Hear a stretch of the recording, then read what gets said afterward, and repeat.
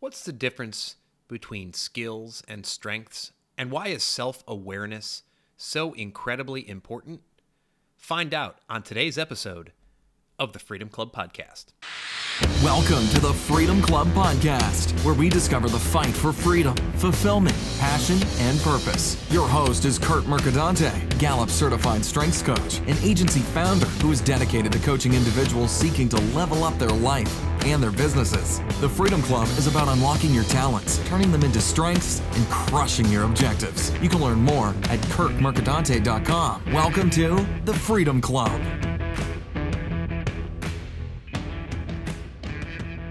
And welcome to the Freedom Club Podcast. I, of course, am your host, Curt Mercadante. And whether this is your first time listening or your 51st time listening, I am so happy you're here. And I invite you today to tell your friends about us. Anyone who you think would benefit from hearing our message of freedom and fulfillment five days a week. And please don't be shy about leaving us a positive rating or review. Those ratings and reviews help us to expand our reach across the earth with our message of freedom and fulfillment. And on today's episode, we are going to talk about freedom and fulfillment. More specifically, we're going to talk about the difference between skills and strengths and why self awareness is so uh, important.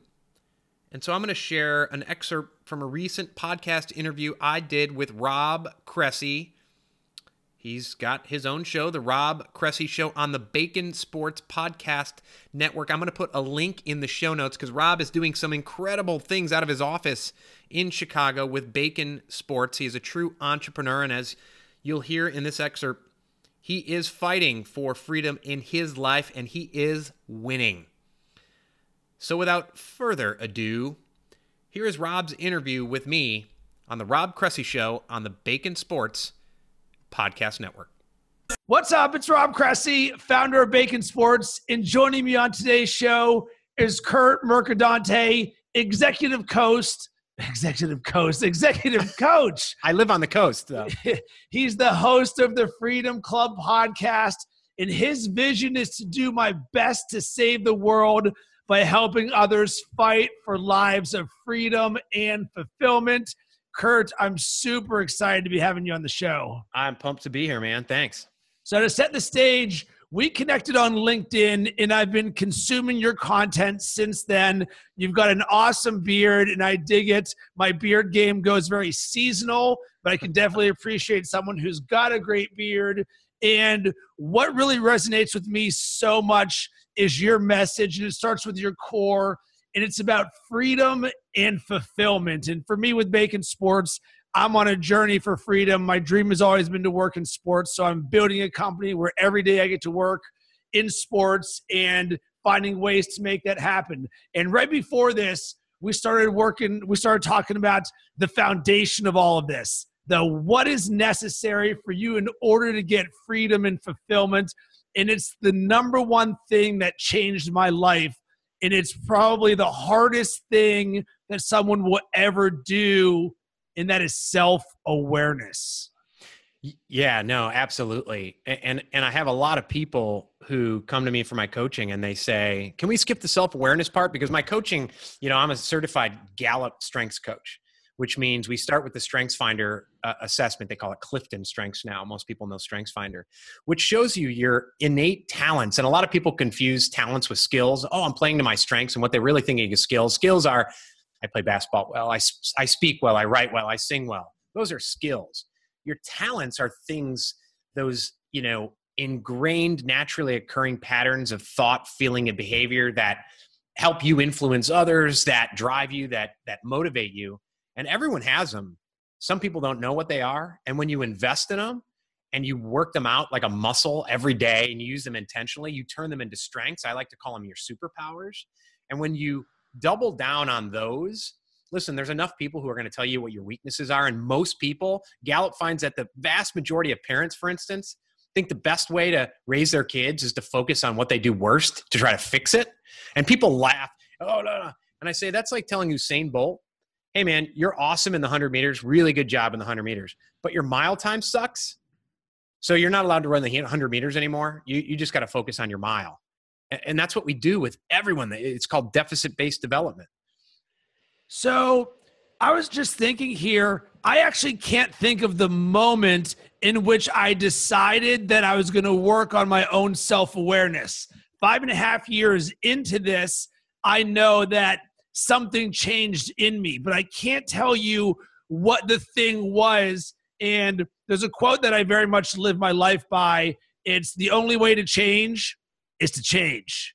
And at some point, I had to change. And with that came the self awareness of uh, the only way I'm going to be able to succeed in life is if I take ownership of every single aspect of it. But it's a very difficult thing when I came from the corporate world. And granted, I, I worked from home for 11 years.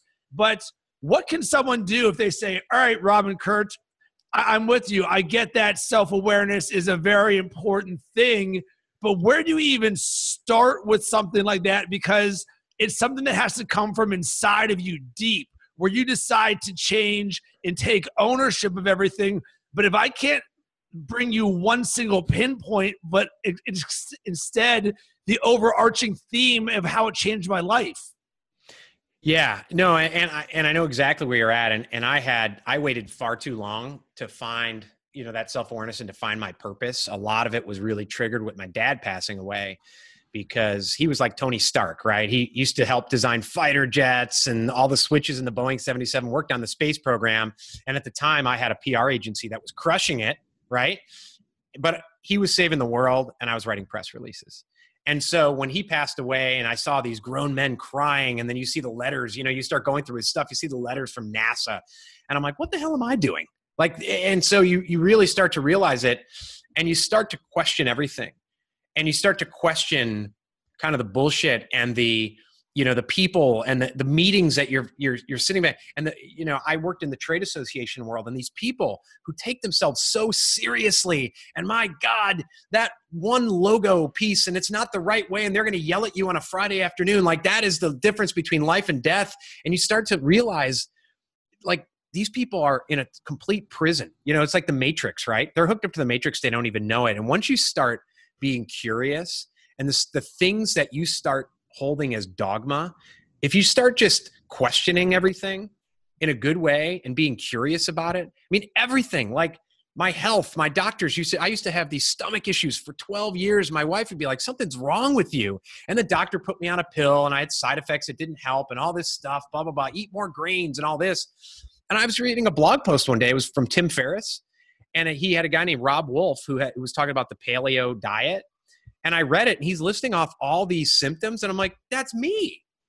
and so I did it, and I've been doing it since 09, and my life has changed. I'm off Lipitor, I'm off the drugs that the doctor told. So just be curious. You know, once you start being curious about yourself, about your life, it, it, there's a snowball effect about really starting to question wow, everything that I thought was self awareness is actually external expectations. I got to live in a certain house with a certain car with a certain job, and it's all bullshit.